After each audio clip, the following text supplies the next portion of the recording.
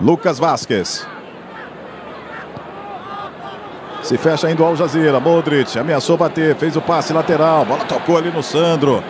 Olha o Lucas Vasquez, tem a chance, rolou para trás. Bem, o Cristiano Ronaldo. Gol